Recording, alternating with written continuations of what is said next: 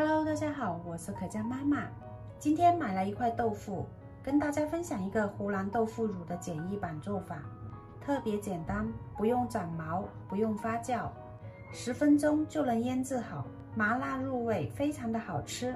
大家一起来看看是怎么做的吧。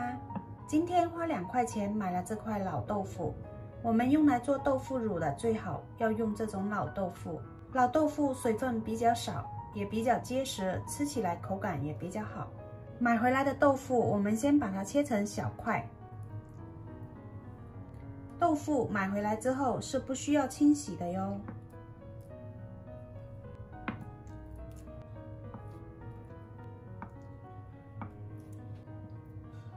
全部把它切成像这样的大小块就可以了。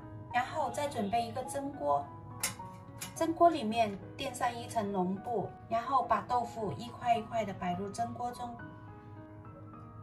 蒸豆腐这一步能使豆腐变得更结实，还能去除豆腐里面的豆腥味。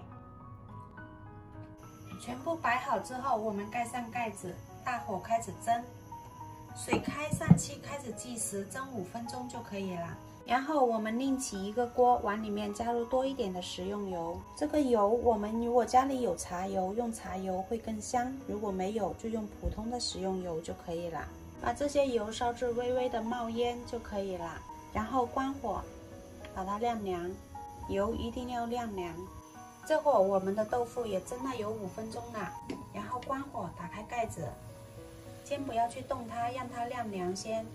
然后我们准备一个干净没有生水的碗，碗里面加入二十毫升左右的生抽，再加入二十毫升左右的高度白酒，这个白酒一定要五十度以上的，酒和生抽的量是一比一。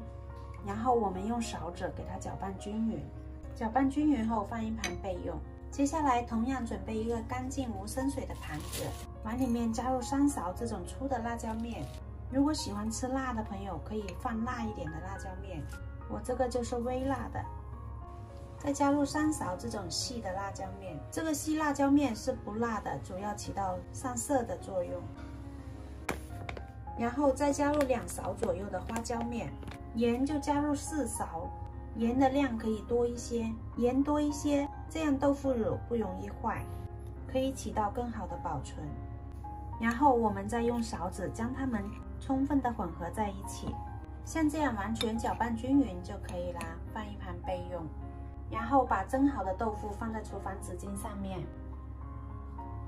我们再用厨房纸巾把豆腐表面的水分稍微吸干一下，像这样就可以了。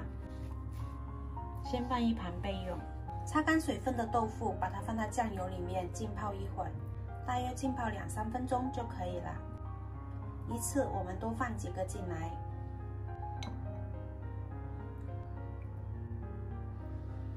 浸泡好的豆腐，我们给它夹起来，然后放在这个我们调制好的辣椒面里面，再给它滚均匀，让每一面都均匀的滚上辣椒面。豆腐全部滚好辣椒面后，我们再准备一个这种可以密封的保鲜盒，或者是。玻璃罐都可以的，里面一定要是干净、无生油、无生水。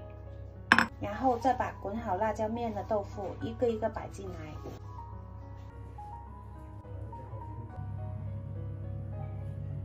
这些豆腐全部装好后，再把我们提前煮好晾凉的食用油给它加进来，油的量一定要没过豆腐乳。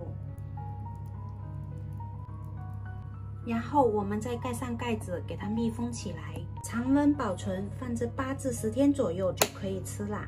这样做的豆腐乳麻辣鲜香，非常的好吃，开胃又下饭。自从学会这样做之后，就没有在超市买过啦，都是自己做。老公非常的爱吃，自己做的健康又卫生。如果您也喜欢吃豆腐乳，不妨收藏起来试试这个做法哟。